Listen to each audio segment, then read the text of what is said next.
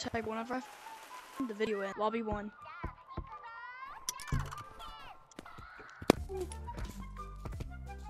Yo, I'm kind of getting it. I really like him.